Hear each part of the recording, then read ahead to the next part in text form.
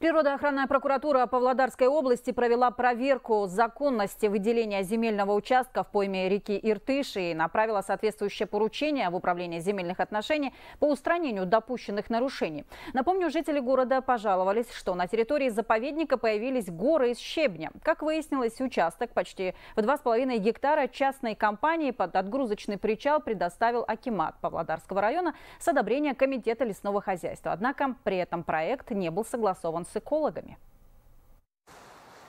Ситуацией с появлением гор щебня в пойме Иртыша заинтересовались природоохранные прокуроры. Надзорный орган установил, что участок частной компании выделен в нарушение норм земельного законодательства. По данному факту создана специальная рабочая группа. Здесь щебнем уже засыпано, получается, деревья, которые растут, а также имеется место планировки.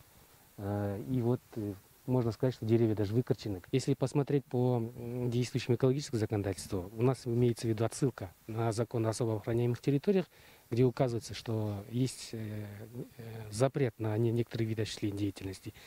То есть они должны были разработать проект оценки воздействия на окружающую среду и представить его департамент. У вас никаких бумаг нет? В департамент экологии по данному объекту никаких заявлений, документов не поступало. Установлено, что участок земли в пойме РТШ передан в аренду фирме по добыче и реализации щебня. Компания намерена организовать здесь отгрузочный причал без строительства.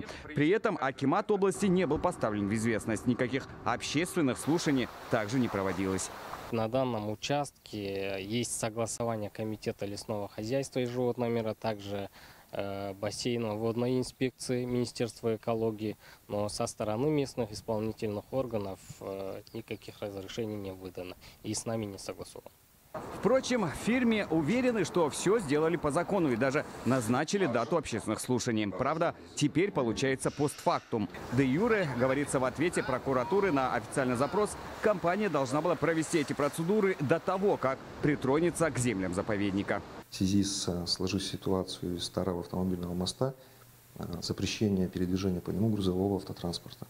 Были вынуждены обратиться в Министерство сельского хозяйства, Акимат нашего города Павлодара, и вот на сегодняшний день а, у нас заключен договор аренды на данный земельный участок, получены а, необходимые разрешительные документы.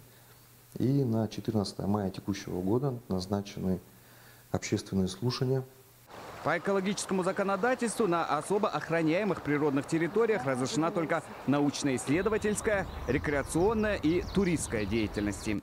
Из Павлодара Салават Тимирбулатула, Марат Игельков, Самат Аспанов и Алексей Мельницкий. Хабар 24.